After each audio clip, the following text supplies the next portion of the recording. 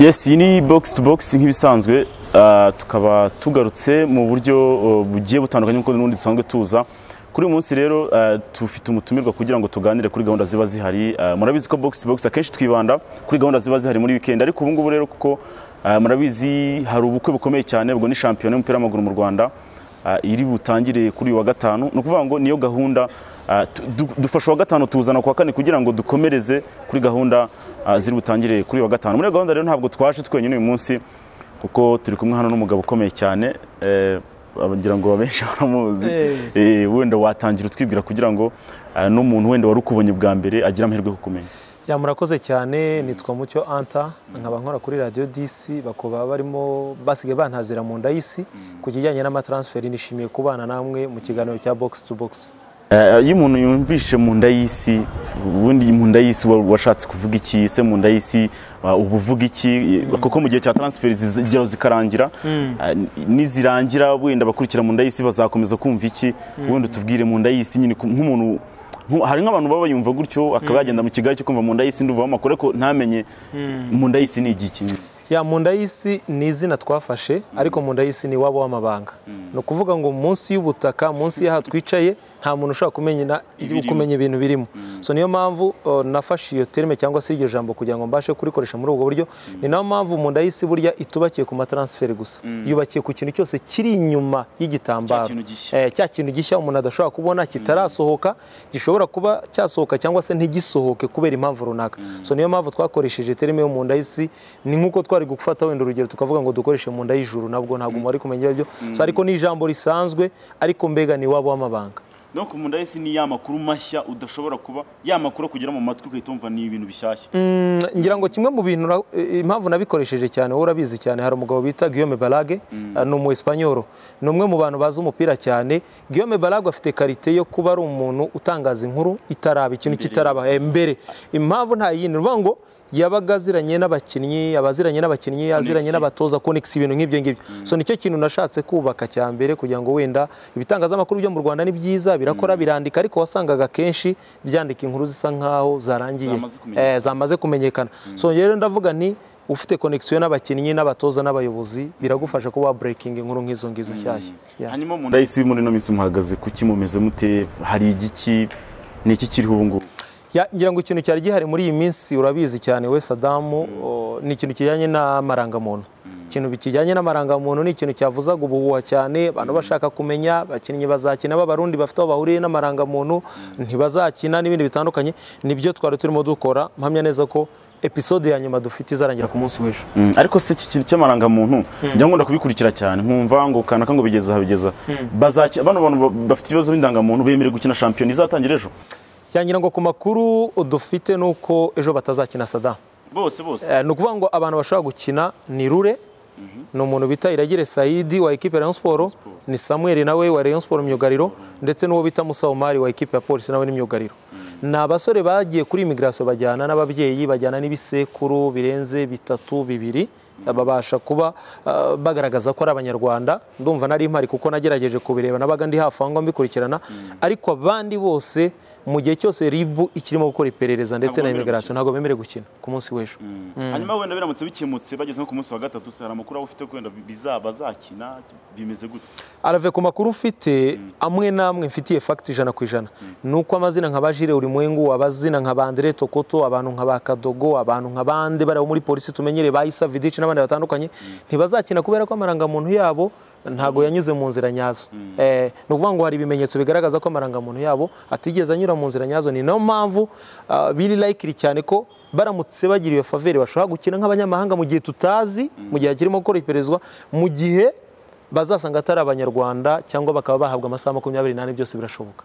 Eh, hanyuma ku, ku kijyanye no kuvuga wenda ngo amakipe hari amakipe adakoresha abanyamahanga nka polisi eh, icyo gihe bizagenda gute? Baramutse babaye kiriya bakavuga ko izo ndangamuntu bazambuye burundu ndetse batazongera no kuba bakina nk'abanyarwanda. Bizagenda gute? Ya already ku makuru dufite nuko ekipe ya polisi yo bamaze kubabwira ko batazakomezanya. Ubwo ni ukuvuga ngo uko byagenda kose umukinnyi ukiri mu iperereza baraza gutegereza gato ariko polisi ikaba yaramaze gukominika bamwe babwira ko bitazashoboka kuba bakomezanya nabo kubera ko ntigikoresha polisi y'abanyarwanda. Ubwo uwo Y'abanyamahanga. eh, y'abanyamahanga sorry. Ubwo wahawe recruitment polisi izahomba zasanze muri kera hanyuma numvishe ukomeza ku kintu cya musabamari. Ni musabamari nzi muri bugesera? Ni Eh, ni musaba uzi muri bugesera. We yayibonye bibiri na cumi na rimwe irangamuntu. Eh, we ayibona bidatewe n'uko ashaka gukina. Turagenda ajya hanze i burundi n'ahandi hatandukanye ariko ni musaba umari uriya nyine. Nawe iki kibazo yagarutse mu rwanda akita kimugonga ni ukuvuga ngo mbere y'uko polisi imusinyisha mu cyumweru gishize ndumva baramusinyishe nko kuwa gatatu niba atari kuwa kane mu cyumweru gishize icyabaye ni uko musabamari polisi yamunyujije muri imigirasiyo kugira ngo banze barebe. Eh, mu cekingi musa ndabyibuka ko nanjye nahageze ku mugoroba njya ngiye kubaza ibye yazanye mu mushiki we bavindimwe azana mukuru we kwa se wabo azana nyirasenge masenge we so n'abandi batandukanye. Nsaba imigirasiyo imubwira ko igishoboka isigaje gukora ni ugupima ADN bakareba niba koko atari ukubeshya. Eh, ariko ibindi byarabifite niyo mpamvu n'irangamuntu bahise bayimusubiza hanyuma tukiri kuri polisi gato turacyari mu nda y'isi wenda ugenda udusogongeza gato dusoze utubwira kuri kwizera olivier. Hanyuma tuve mu nda y'isi tujya ahandi hantu. Kwizera olivier nawe twumvisha ngo muri polisi twumva ngo ibibazo bifitanye na free state stars ibiki. Hari ikintu waba ubiziho? Ukuri guhari ni ukuhe? Olivier Kwizera yatandukanye n'iriya ekipe ya Free. Hanyuma aza mu Rwanda. Nyuma yo kuza mu Rwanda ekipe ya polisi yaramurambagije. Barumvikana hari kuwaga mm, isoko ryafunze kuwa kangahe? Ryo mu rwanda? Eh. Kuri mirongo itatu kuri mirongo itatu hari kuwa kuwa mbere. Kuwa mbere. urakoze cyane. Ni ukuvuga ngo kuwa mbere yafashe moto ntabwo yafashe imodoka yafashe moto ava mu bugesera. Niho atuye hatuye. Eh, kuko afite imodoka ariko ntiyigeze aza na yo. Afata moto araza agera kacyiru kuri polisi. Yumvikana n'ubuyobozi bwa ekipe ya polisi ibintu byose birarangira bumvikana amafaranga miliyoni eshanu ku mwaka umwe na magana atandatu ya serire hanyuma icyabaye kuri kwizera olivier afata n'urupapuro ararusinya rwa kontara hanyuma amaze gusinya baramubwira bati duhere irizi leta. Umuhungu ikintu yababwira yababwira ati irizi leta yangira South Africa. Ifitwe na manager wanjye ni we uyifite. Reka nze muvugishe. Ubwo hasigaye amasaha nk'atatu kugira ngo isoko rifunge. Icyabaye ni uko yakomeje guhamagara manager we ntibumvikana. Polisi muha ewe na- n'amayinite aramubwira ati we muhamagara yikoreze kuri whatsapp tuyifate. Biri simple cyane kuba twayikopiya hanyuma wenda azayitweza kuri mail tuyiprinting. Icyabaye ni uko kwizera Olivier yahamagaye manager we ntibumvikana. Ntabwo bigeze bumvikana na manager we. Bigaragara ko hashobora kuba hari ibintu biri hagati ya Olivier. N'iriya kipe yavuyemo. Eh, hanyuma icyabaye kuri kwizera Olivier abwira polisi aravuga ati mwebwe rero ngewe ngiye kubikurikiranira ku munsi w'ejo nzayibazanira. Polisi ikintu bahise bakora byihuse cyane umunyamabanga wayo yahise yihuta ajya muri ferwafa. Ajyanayo ya kontorori yamaze kubasinyira kugira ngo bizabe litije Eh, byibura bamuterekemo. Hanyuma bamaze kugerayo baramubwira bati nibirenga saa sita ntibishoboka. Icyabaye ni uko Bitaraboneka. ibyangombwa ntibiri bushoboke. Barategereza igihe kirarenga SG akaba yari azi ko bazakoresha iyindi plan B urayizi cyane yo gufata umukinnyi ukamuvana muri muri club runaka ukamujyana muri amateri muri deuxième division. Icyo gihe ntibiri buza gusa ko kuva muri ze- ah, muri deuxième division ajya muri semi pro cyangwa ajya muri pro. Biri busabe ITC inyura muri FIFA. Uhahita atizwa direct bikoroha ingero ba Daniel Usengimana ba Papi Sibomana ba Biramayira Bedi abakinnyi nka Bayima Blaise Habimana bari muri polisi ferwafa ageze iramubwira ngo iyo nzira na yo yarafunzwe ntigikora. So niyo mpamvu umuntu Olivier atazakinira ekipe ya polisi. Ukwizera Olivier ntazakina polisi. Birashoboka ko wenda yategereza muri retour cyangwa se mu kwa mbere wenda akaba yajyamo? Mu kwa mbere birashoboka. Ariko urumva nanone mu kwa mbere ashobora kuba azaba yabonye izindi ofure birashoboka kuko nta mafaranga bamuhaye. Yes reka rero dushimire ambasaderi cyangwa se nyiri mu nda y'isi ubwo uri CEO wayo Donc aho wajya hose eh, mu nda y'isi wayijyana nawe ukaba unyungirije. Eh. Eh, reka rero tuve mu nda y'isi mu bya transfer n'abakinnyi batazakina shampiyona. Reka anta ejo ku wa gatanu haratangira shampiyona y'umupira w'amaguru mu rwanda. Ah, ni, ni shampiyona ubamo na abakinnyi bose baba bagiye ba- bajya benshi urabazi. Kuko ubu ngubu hari abantu bazajya bajya ku kibuga ubone nk'umukinnyi ese uriya yavuye he? Ariko ubwo umuntu utarakurikiye anta kuri radiyo disi ashobora kuzaba ah, yaracikanwe Ah, anta shampiyona iratangira ejo aperi ihure na as kigali. Ni match na yo ikomeye. Iyi shampiyona banze utu- utubwire abantu bitega iki? Ni iyihe shusho ubona? Igiye kuza yambaye iki? Ngira ngo ni shampiyona ikomeye Alve. Ni shampiyona ikomeye nk'uko ubitangije ubyentroduza ni shampiyona ikomeye mu buhe buryo? Ni shampiyona umuntu yakwibaza nko ku bintu nka bitatu cyangwa se nka bibiri izaba yubakiyeho cyane. Ikintu cya mbere ni abatoza benshi b'abanyamahanga. Mu makipe cumi n'atandatu abatoza bose bagera kuri cumi n'umwe ni abakomoka hanze. Icyo ni icya mbere. Ikindi cya kabiri ni abakinnyi benshi bahinduranyije ama ekipe kandi bafite ubushobozi. Usanga ntabwo ari apere yiyubatse gusa ntabwo ari Rayon Sport yiyubatse gusa. Ikindi gihari gikomeye eh, ngira ngo twabonye hari ishusho twabonye mu kibuga ko hashobora kuzaba harimo umupira mwiza ariko nanone eh, bikajyana n'ikintu kijyanye n'imifanire. Ubona ko ku bwitabire burimo buragenda bugaruka ku kibuga. Ntabwo ari apere dusanzwe tuzi ivuga ngo kubera ko abanyamahanga badahari twacitse ku bibuga n'ibindi bitandukanye turaza gucika ku kibuga. Ngarutse ku kintu cya mbere kijyanye n'abatoza Alves ni abatoza twitezeho byinshi cyane. Eh, harimo abatakitisiye harimo abatoza batandukanye bashaka kwempoza filozofi zabo zitandukanye dushaka kureba muri shampiyona. Kandi n'abatoza bafite amateka kuko niba nka ekipe nka Musanze ishobora kuzana umutoza nka Mars ni umutoza ukomeye cyane tuzi muri aka karere ufite izina. Hanyuma nuvayo ukajya muri ekipe ya polisi urahasanga umutoza ukomeye cyane. Hari ingingo Francis ni umutoza ukomeye cyane twese ko ashoboye. Ekipe ya Peri yagiye kuzana abantu bahagaze hafi za miliyoni makumyabiri na cyangwa mirongo itatu. Ni abatoza nabo bashoboye nubwo wenda nta bigwi byinshi bafite tubaziho. Nunyaruka ukajya muri ekipe ya Mukura izanye umutoza uvuye Londres mu Bwongereza. Nibyo ntabwo afite ibigwi ariko avuye mu Bwongereza. Ubwo na byo bazana assistant uvuye mu gihugu cya Espagne. Fata ekipe ya Rayon Sport. Bagiye gufata indege bajya kuzana umuntu uvuye muri muri Mexique. Kumuzana ukamukombera n'umuntu bita Rekirasa unyaruke ujye muri ekipe nka Etincelle wasangayo umutoza Seninga. Kuba ari umutoza atoje international utoza amavubi. Utoza ekipe nationale amavubi. N'abandi batandukanye. So nuvuga ngo tubitezeho ko bashobora kuzaduha umupira mwiza ndetse no kubasha kuba bazana uko guhangana. Ikindi cya kabiri ama ekipe yazanye abakinnyi beza Alve. Bakomeye. Aperi iragiye ihise ikura abakinnyi muri Rayon Sport bagera kuri bane. Ngenderwaho. Rayon Sport na yo kwihimura ifasha abakinnyi ya peri isezereye byibura itoranyijemo ab'intoranwira bazanye bateretsemo hariya.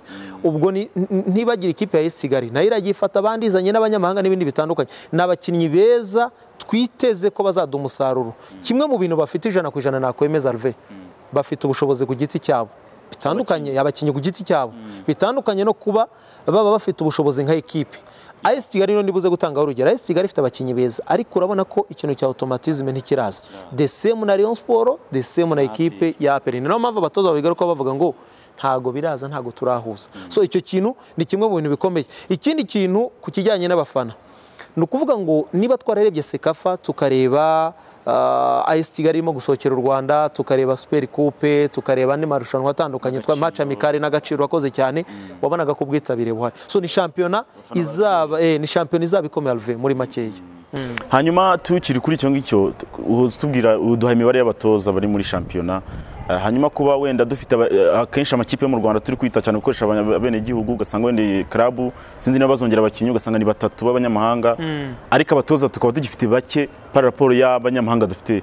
Ntishobora kuba wenda ari crise dufite kuba dukoresha abakinnyi benshi b'abanyarwanda ubwo urumva n'abaritaringa bagomba kuba benshi bakajya kwiga ubwo butoza.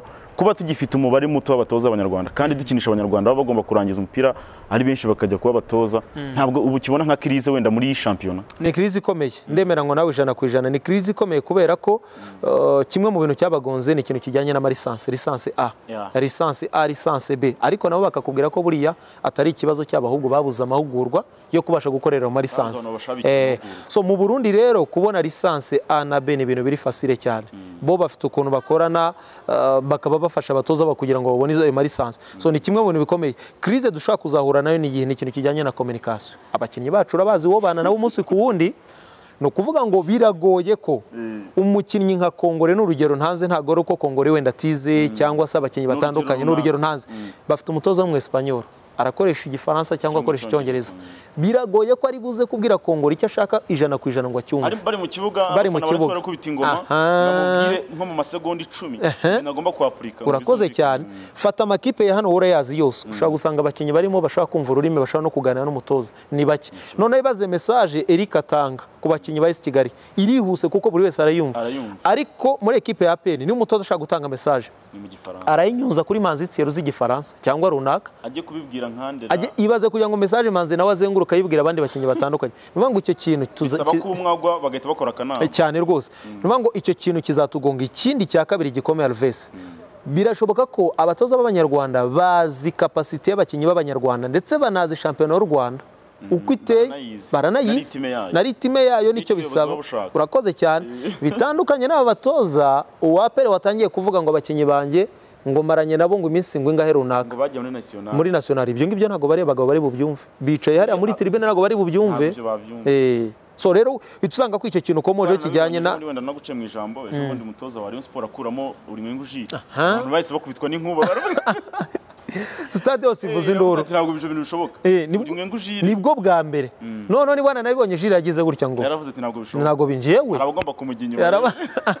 Ubwo uri inyuma ya jire ntabwo ari inyuma ya ntabwo ari bunyuma ya martinez. Usanga ko icyo kintu rero cya kirize kizatugomba communication. Eh. Ha, Anta rero yavuze ku kintu cya communication.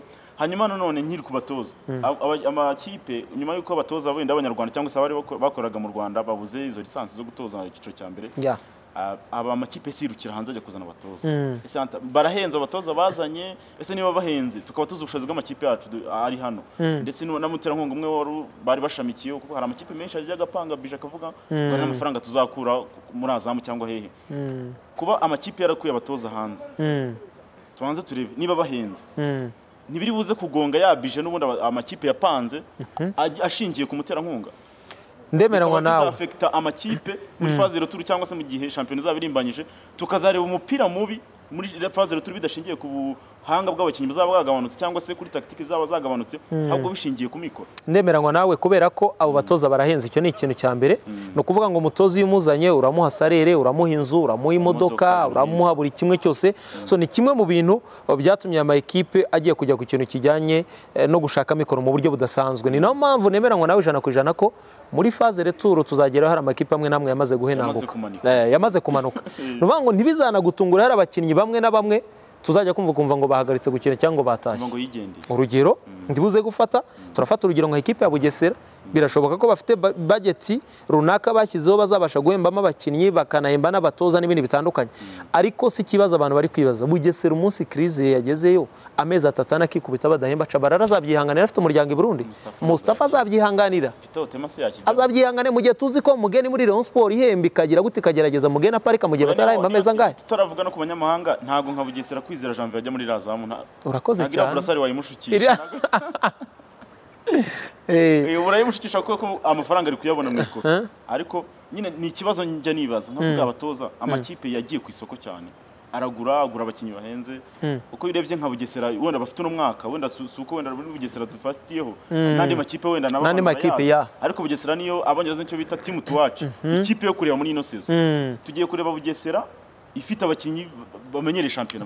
Ba- pita ba aba ba cabarara ba francis wakinye muri gormahia Ba Rodrigue. Rodrigue Murengezi umaze imyaka myinshi Jimmy. Mbaraga. Jimmy Mbaraga. Hari n'abandi bakinnyi bavuye Burundi benshi barimo hariya. None tukibaza ba- ba ba Zapi bari hariya? Cyane rwose.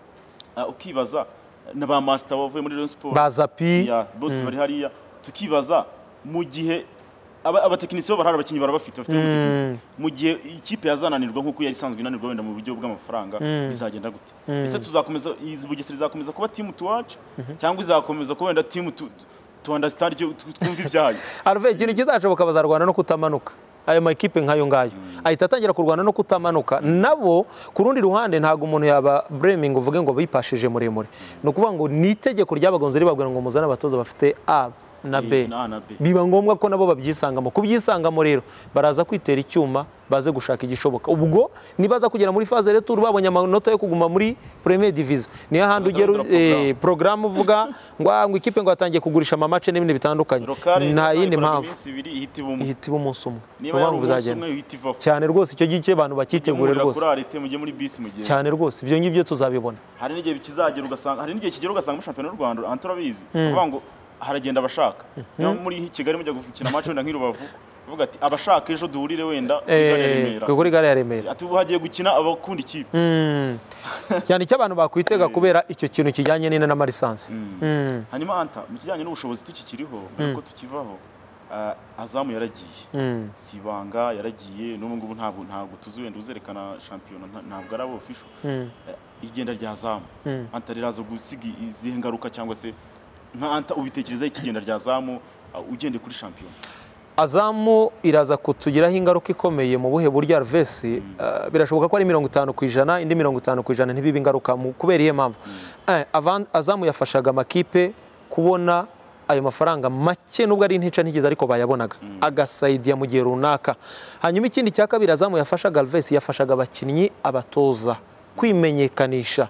Ndetse bikanazamura n'izina rya shampiyona. Abantu bakabasha kumenya shampiyona y'u rwanda. Twari tumaze kugira muri aka karere twari tumaze kugira abaviyuzi benshi bakurikirana shampiyona y'u rwanda. Ushaka highlight z'umukinnyi runaka cyangwa umutoza runaka. Icyo ni ikindi ikindi buriya zamu yakoraga gikomeye alvesi ni ikintu kijyanye no kumenya niba koko umusifuzi yakoze ikintu abigambiriye cyangwa atabikoze abigambiriye. aho hantu. Eh? mu gaciro twarakibonye Alves. ntabwo bizewe. Eh, ni impamvu nabo batizewe nabo turabizi ko nabo babona amafaranga yo kubaho cyangwa se prime babona ni amafaranga make cyane ibihumbi cumi n'umunani. Sinzi niba barabyongereye. Ni ibihumbi cumi n'umunani kuri prime kuri match kandi ntuyahabwe nabwo kashi Eh. ushobora kuzayabona umaze gusifura nka match icumi. Urakoze cyane. Ni ukuvuga ngo rero azamu kugira ngo umusifuzi akorerere byari bigoranye kuko nabo ubwabo match ah, mace idahari. Nabo ubwabo bicuruzaga kuri ya zamu cyangwa se bigurishaga mu buhe buryo. Usifura ushaka gusifura ku rwego mpuzamahanga bamurebaga kuri azamu yari abizi ko arebwa n'abantu benshi batandukanye. So rero ni kimwe mu bintu bizagorana ni na yo mpamvu azajya kumva ukumva umusifuzi runaka ngo yafatiwe aha n'aha cyangwa ngo yumvikanye na ekipe runaka cyangwa ngo yakoze rere runaka. Twarabibonye. So ni bimwe mu bintu bikomeye cyane. Bishobora kuzatuma uh, dukumbura azamu. Gusa nanone ku rundi ruhande ku makipe amwe n'amwe akomeye ku kijyanye n'ibyo wenda binjizaga cyangwa income kubera azamu ni bike cyane. Ni na yo mpamvu nk'amakipe nka Rayon Sport amakipe nka APR n'andi makipe afite abaterankunga ku brandinga noneho baba basa nk'abifitiye uburenganzira ko baba brandinga mu kibuga ibyo bifuza. Ariko muri make ngewe fomi nka mirongo inani ku ijana turahombya rove.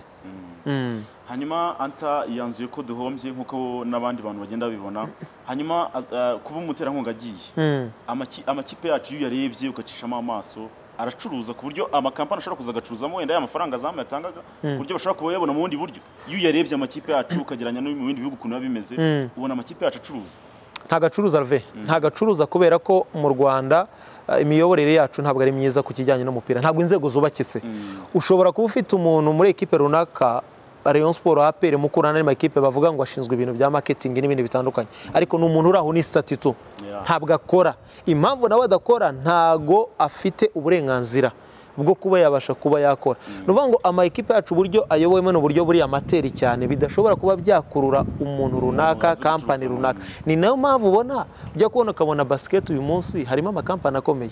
Muri vore harimo amakampani akomeye ahantu hatandukanye harimo abantu. Ni ukuvuga ngo hari abantu baba bafite ibintu byabo biri simati biri mu mucyo binyuze ye ariko hano mu rwanda arave no kugira ngo bajye muri Rayon Sport buriya ni imbaga ni uko Eh, ari no abantu gukurikira benshi abantu. eh, ni ugukurikira abantu. Ariko ubundi ku kijyanye eh, ku kijyanye n'imyubakire n'ibindi bitandukanye turi hasi cyane. Hanyuma hakorwa iki? Kuko akenshi urebye ubona amakipe yacu ugasanga ikipe ikinya imikino cumi n'itanu ariko ukaba nta hantu wabibona. Ugasanga wenda niba uri ante uri muri studio wenda tuvuge ugiye kwa update wenda nka saa cyenda match ziri kuba.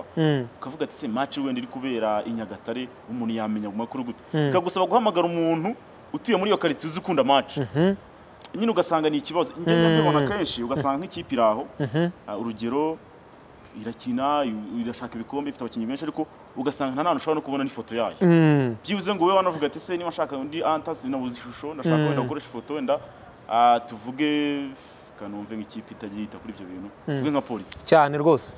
Urugero. Ni ukuvuga ngo polisi usanga wenda amakuru yayo ari amakuru ya kera yo muri bibiri na cumi na gatatu ikirimo bakaza kuvuga amakipe yacu usanga kugira ngo uzapfe kuyibona ni ukujya ku kibuga. Ni ukujya ku kibuga. Hanyuma icyo kintu cya branding no kuba ikipe wayibona ahantu hose hatandukanye kuko tujya tubona za simba. Uh, uzi ko simba buri ishobora gufata abafana. Urabona nka bano mu rwanda rutabura. Eh. bakagurira amatelefoni noneho kwa kundi match yabaye.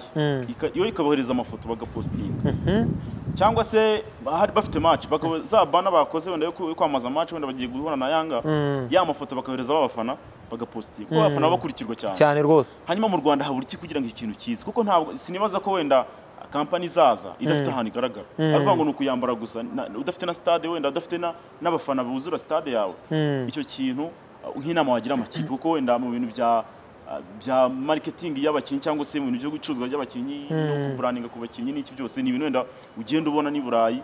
Mu rwanda birasaba iki? Ni uko bihenze ni uko abantu batarabyumva ubona habura iki nkanda ni ukuvuga ngo uh, ikintu cya mbere alvese nemeranywa nawe ijana ku ijana turakennye cyane. Kandi ubukene bwa mbere ni mu mutwe. Ntabwo ubukene bwa mbere ari amafaranga. Gukira kwa mbere ni ibitekerezo byagutse. Nicyo kintu cya mbere. Ni ngo bajya bavuga ngo uh, iyo utazi umwihariko wawe iteka urahangana ariko iyo uzi umwihariko wawe urahanga. Eh, ntabwo bikuvuna. Ni ukuvuga ngo ukomeje kuri ekipe ya polisi. Ni ikipe ikomeye ni ekipe ya kampani donc ni ekipe ya institution ikomeye mu gihugu. Ariko biteye ubwoba kuba ushobora kujya ahantu runaka kugira ngo ubone umuyobozi wa polisi ubone umukinnyi wa polisi umenye update ya ekipe ya polisi. Ntushobora kubibona. Ibyo ubona urabona ibintu bya kasa byabandi ku kazi n'ibindi bitandukanye. Ni ukuvuga ngo si uko bakennye si n'uko yewe eh, badafite ubushobozi bwo kuba bazana umuntu ushobora kuba yabibakorera n'andi ma ekipe atandukanye n'urugero dufitiye kuri ekipe ya polisi ariko ikibazo gihari gikomeye alvesi ni ukubitekereza no kubiha umwanya no kumva ko ibyo bintu bifite agaciro cyangwa se bifite agaciro. Impamvu batabiha agaciro ni iyihe? Ni ukudasobanukirwa akamaro kabyo. Nicyo kintu gikomeye cyane. Ni na yo mpamvu umuntu ushobora kuba azi akamaro k'itangazamakuru kumenya abantu bakora kuri social media kubona abantu bashobora kwamamaza ibikorwa byanyu abantu bo muri marketing n'ibindi bitandukanye. Ni bamwe mu bantu bamaze kugera ku rundi rwego cyangwa se ni bamwe mu bantu bamaze gutera imbere. Ni na yo mpamvu ubona ku munsi ku wundi hari amakipe amwe n'amwe agenda abisobanukirwa. Bizagenda biyifata amwe n'amwe. so rero inama umuntu yabagira vese ni ukumenya ngo niba nshaka kuba nubaka ikipe yanjye ndayubaka mu kibuga ndayubaka muri bodi n'ahandi hatandukanye. Ariko hanze y'ikibuga ni ho hambere hamenyekanisha ibikorwa bya ekipe kugira ngo ikipe irusheho kumenyekana ku isi.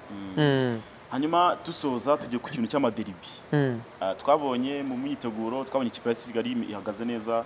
Ah, rayon siporo yo niyo uko yaba imeze kose burya umenya ibyayo igeze mu kibuga. Ah, aperi na yo ni uko twabonye uburyo yagiye igura za polisi ziri aho. Hanyuma muri ino shampiyona turaza ku- deribi tu- tu- tu- tubwire wenda muri big four dufite ubu ngubu. Ah, wenda mukura tube tuyiretse cyangwa se na yo tuyirekeremo reka tugere big five Du- dufite aperi rayon siporo as kigali polisi na mukura Ah, derby ya Aperi na Rayon Sport ukurikije imikino twabonye muri pre-season uburyo baguze. Derby ya Aperi na Rayon Sport izaryoha kurushaho nuko Aperi yahura na AS Kigali. Eh, donc turibwire Rayon Sport Aperi Mm. Aperi AS Kigali AS Kigali Rayon Mm. Ni nuhe mukino? Tutitaye wenda ku bwinshi bw'abafana cyangwa se ku kuri ambiance mu buryo bwo mu kibuga. Ni iyihe derby ni uwuhe mukino wakwita Ya, umukino uzaba ukomeye mu kibuga Alvesi ni Rayon Sport na APR ni we uzaza ku isonga. Impamvu nta yindi impamvu ya mbere ni uko hazaba harimo guhangana kw'abakinnyi ubwabo bavuye mu makipe hagati yabo. Niyo nzima Olivier Sefu azaba ashaka kwereka Rayon Sport ko ari sefu. Mu gihe iranza azaba ashaka kwereka APR ko bibeshye. Akiri umuwinga. Ni na yo mpamvu twabonye urugero rworoshye cyane Bakame yatangaje avuga ngo nashakaga kwereka Rayon Sport ko nkiri Bakame kandi nshoboye. Ejo bundi twarabibonye akuramo amapenaliti ya. Ni ukuvuga ngo icyo ni icya mbere ni match izaba ikomeye kubera icyo kintu kuri Rayon Sport APR ikindi kintu bubatse buriya bubatse ikintu gikomeye cyane cya Rayon Sport na APR cyo guhangana ngo umusirikare umuturage cyangwa umusivili. Ekipe ya gisirikare ekipe y'abaturage. Ni ikintu Rayon Sport na APR zubatse bizanagora ko hari undi muntu uzagikuraho. Bizasaba igihe kirekire tuzi Kiyovu Sport buriya yigeze kugera derby ikomeye na Rayon Sport niyo ari derby. N'ubu ngubu Eh, biravugwa biravugwa. Ariko kubera ko Kiyovu Sport mu kibuga isa nk'iyarangiye cyangwa se Kiyovu Sport ku kijyanye n'imbaraga zo mu kibuga zaragabanutse. cyane par rapport na ekipe Rayon Sport. Niyo mpamvu ku ruhande rwa ekipe na Kiyovu Sport Rayon Sport na Kiyovu Sport bisigaye ku munwa w'abafana. Ariko mu kibuga biba bizwi uza ubiza kenshi ko Rayon Sport biza kwitwara neza. Iyo ni derby ya mbere izaba irimo guhangana gukomeye. Iyindi derby buriya izaba ikomeye yo kwitondera cyane. AS Kigali ya APR hari abakinnyi bavuye muri ekipe ya APR bagiye muri ekipe ya Kigali birukanwa barimo barushesha ngoga barimo bazidane n'abandi batandukanye. Amwe mu magambo bakoresha abasore barakubwira ngo kuri uyu wa gatanu dutsindwe izindi mace zose zishoboka. Ariko ekipe ya APR ntishobora kudutsinda ni kimwe mu bintu bizatuma iyi match izajya ibikomeye iteka. Harimo guhangana Eric Nshimiyimana nta gikombe yatwaye muri APR ariko muri AS Kigali yatangiye kubitwara. Hazaba harimo guhangana. Indi kipe izaba ikomeye cyane izazana guhangana kudasanzwe ni ikipe bita polisi na Rayon Sport ni abapolisi ni abaturage n'abasivile turashaka guhangana ntabwo dushaka ko badukuraho amanota. Polisi irakubita agatoki ku kandi ivuga ngo Rayon Sport yaratwibiye. Muri shampiyona ni panga pangura. Francis akavuga ngo Rayon Sport ntigeze intsinda. Ntiransinda ntoza mukura yansinze rimwe muri shampiyona ndimo gusoza. Ni match zaba zirimo guhangana. Niyo mpamvu kuri mukura yo mukura simbona guhangana. Gusa kuri mukura hashobora kuzabamo akantu ko guhangana na polisi. Mwadutwaye umutoza mudutwara rure mudutwara runaka. Ariko derby ya mbere cyangwa guhangana kwa mbere mu kibuga ni APR Rayon Sport. AS Kigali APR polisi Rayon Sport. Hanyuma match ya match izahuza AS Kigali na polisi yo wayivuga hiyo ni match izaba ari nziza cyane ariko nta guhangana ku bafana nta guhangana mu kibuga kuko abakinnyi bafite ubushobozi ikindi ku nzego nta guhangana kurimo ahubwo icyo nemeranywa nawe hashobora kuzabaho guhangana ku batoza babiri b'abatakitisi yaba Eric Nshimimana yaba umutoza Haringingo Francis ndetse n'abakinnyi bafite ubushobozi. Birashoboka cyane. Yes hanyuma tusoza reka tujye ku makipe yazamutse Heroes gasogi zizanye challenge cyangwa zije gusa zije gusa mu kibuga tu? Aya ma ekipe ntago nakwemeza ijana ku ijana ko azanye challenge Alves ahubwo icyo nakwemeza cyo nakwemera ko baje gukina. Ariko ntago baje guhangana. Baje kwitabira. Eh, baje gukina. Ntago baje guhangana. Kimwe mu bintu bashimira barimo bakora. Ikintu bita marketing barimo barayikora kabisa. Ikintu bita marketing Gasogiyo ni gasogiyo ibindi bindi. Una- unarebye no mu makipe ari gukora ma- gukora marketing cyane gasogi gasogi na- eh, iri hejuru. Ariko ugiye kureba karite bafite mu kibuga twabibonye mu- muri matches amikari n'ibindi bitandukanye rve abakinnyi bafite ni abana baracyafite energy ariko experience irakonta muri premier division. cyane rwose. Ni na yo mpamvu njye nemeza ko ndi umwe mu bantu bemeza ko ku rupapuro ku rupapuro. Realite yo ku rupapuro itandukanye n'iyo mu kibuga. Ku rupapuro ndemeza ko gasogi na heroes nta gihindutse. Batabaki mu cyiciro cya kabiri. Ariko mu kibuga nabaha nka mirongo ine ku ijana byo kuba wenda bazaresisita hakaba hagenda undi. Ariko aho ni ho ndimo mbona gusubira mu cyiciro cya kabiri. Hanyuma kuba gasogi ah, ifite umuyobozi uri volatile cyane. Ah, ah, ah, ikipe donc ari kubwira abantu cyane ko ikomeye buri munsi buri munsi. Ni ibintu ubona gute? Se birafasha biriya bintu? Byaba bifasha mu buryo wenda muri morale y'abakinnyi biriya bintu nta, consequence bishobora kugira kuri management y'ikipe. Biriya bintu ni byiza cyane. Icyo ni kimwe no kumushimira uriya mugabo cyane. Urabona ko yatangiye gushyushya shampiyona. Ni ibintu byiza cyane. Ikindi cya kabiri ni ugukorera marketing ekipe ayoboye. Icyo ni ikintu gikomeye cyane. Ikindi bizanabafasha kumenyekanisha bya bikorwa byabo nk'uko twagiye tubigarukaho. Ariko nanone bizabagiraho izihe ngaruka? Umuntu wese uzaza gukina na gasogi. Azajya avuga ngo turashaka gucecekesha runaka turashaka gucecekesha runaka. So bitume abakinnyi bajya kuri puresha ku gitutu batakwe baki donke mace yabize yakaniwe ku rwego rukomeye cyane. Ubwo biraza gutuma nyine abatoza bicariye ishyiga rishyushye niko biri buze kugenda. So niyo mpamvu rero nakubwira ko kuri ekipe nka gasogi kubikora ni mu rwego rwo kumenyekanisha ariko kumenyekanisha bitandukanye n'ubushobozi bazaba bafite mu kibuga. Mm, cya kindi tuzi tuvuga umuntu ushaka gucuruza yacuruza muri gasogi. Wacuruza muri gasogi? Ngenda byemera rwose. Wacuruza muri gasogi kuko birumvikana biramenyekana barabyandika barabyitinga bafite abanyamakuru babo babakurikirana umunsi ku wundi. Gasogi njye ni na yo naho umwanya wa mbere kugera kuri segonda ko irimo kumenyekanisha ibikorwa byayo. Hanyuma hanta dusoza tunagushimira gira wenda nk'ikintu tubwira ah, wenda twaba twakuniganya nk'ijambo kuri shampiyona y'u Rwanda igiye gutangira kuri wa gatanu. Ikintu cya mbere ndibuze gusaba Alves no gusaba ni ikintu kijyanye n'imisifurire imisifurire abasifuzi bacu bo mu Rwanda barashoboye. N'ikimenyimenyi nuko bajya ku ruhando mpuzamahanga bakaba beza. Ariko baza mu Rwanda rimwe na rimwe hakabamo utuntu two guteza polemike ni beza abasifuzi bo mu Rwanda ah, ni n'ikintu cyo gushimira. Urabona ko hari generasiyo igenda izamuka nziza. Ariko nanone hari utuntu tugenda tuvuga tutari twiza ku basifuzi koza amayereri atari ngombwa batanze penaliti zitari ngombwa n'ibindi bitandukanye ni cyo kintu umuntu ya mbere cya mbere umuntu yasaba ku kintu kijyanye n'imisifurire ko cyaba cyiza. Ikindi cya kabiri ni aba bayobozi b'amayikipe aba bayobozi b'amayikipe bo bazi ko ibyifuzo byabo bihita biba uko babyifuza otomatike bihabanye n'abatekinisiye niba umutoza akubwiye ngo ndimo ndubaka muha igihe kugira ngo byibura uwo mutoza yubake ukwezi kumwe cyangwa amezi abiri atatu n'atanu urebe. Ni na yo mpamvu ujya ubona ba Guardiola n'abandi batandukanye Alve. Ashobora kuza umwaka wa mbere bikanga ariko bakamubwira bati komeza. Umuntu yagera kuropa akamara katara imyaka ine nta gikombe nta FA Cup nta Carabao nta Champions League. Ariko akabona ko hari icyerekezo. Icyerekezo. Eh, hari icyerekezo. So ni kimwe mu bintu umuntu yasaba abayobozi kuza kubyihanganira. Ikindi abafana ni abantu tubana buri munsi. Bazi kwihanganira gutsindwa. Ntabwo ari kamara ko ekipe ya pera igomba gutwara shampiyona iteka si kamara ko ekipe ya Rayon igomba gutwara shampiyona? Babyakire ngo niba polisi ije niba esi kigali ije ikagitwara babyakire ni ibintu bibose normal kubera ko ni umupira w'amaguru haba gutsinda no gutsindwa. ya haba babasha gutsinda. Ikindi ah, ni ugushimira cyane itangazamakuru ryandika itangazamakuru rivuga kubera ko rifasha umupira w'amaguru kuzamuka umunsi ku wundi. Nibyo baratunenga bakavuga ko tubaca intege n'ibindi bitandukanye ariko ndemeranywa n'abantu uh, babibona ijana ku ijana. Mpamya neza ko itangazamakuru ridahari ryo mu rwanda noneho ibaza umupira wacu ahantu waba uri so byaba ari ibindi bindi so rero nkabashimira namwe cyane box to box. Mhm. reka tumushimire rero antayeri muri box box yo kuri wa kane isanzwe ku wa gatanu twayizanye ku wa kane kugira ngo tuvuge kuri gahunda ziri butangire kuri wa gatanu. Reka rero ah, abakunzi ba- bo mu nda y'isi nta butumwa bagenera mbere ko shampiyona itangira. Ubutumwa tubagenera nta bundi uh, ni ukubashimira ko twabanye nabo mu gihe cya merikato tuzongera nabo mu kwezi kwa mbere ariko umunsi ku wundi tugenda tumenya amakuru ari inyuma y'igitambaro tuyabanayo abari mu nda y'isi. Episode y'amarangamuntu igeze episode y'amarangamuntu ejo tuzakora cumi na gatatu tuzafunga. Ni ukuvuga ngo ku kintu kijyanye n'amarangamuntu impamvu dufunze natwe kizakurozinga ku munsi w'ejo kubera ko shampiyona izatangira ku munsi w'ejo n'abakinnyi bamwe na bamwe b'amarangamuntu ntibazakina ubwo ibindi turabiharira inzego zishinzwe kubikurikirana. Ubwo haramutse hagize ikiba kuri ku marangamuntu ntabwo ntabwo cyo bazamenya bazakimenya ijana ku ijana mu gihe hazaba hagiye hanze lisiti y'abakinnyi batazakinwa niba bazahabwa amasaha makumyabiri n'ane niba bazakina nk'abanyamahanga nabwo tuzakimenya tukibabwira cyahagaze ni episode Eh, ni episode. Yes reka dushimire rero mucyo anta cyangwa se bakunda kwita mu nda y'isi ni we wari umushyitsi wacu kuri uyu munsi. Reka rero mbasabe gukomeza gukurikira half time akadomo rwa iyo hano kuri T- tv ndetse na online kuri website. Ni half time nk'uko musanzwe muzi byandikwa half time akadomo rwa hanyuma mukomeze gukurikira amakuru ya siporo atavangiye. Reka rero dushimire umugenzi wacu mucyo anta kugira ngo akomeze akazi yari arimo kuko bashakira amakuru n'ubundi azabagezaho anta reka tugushimire cyane. Urakoze cyane sada murakoze.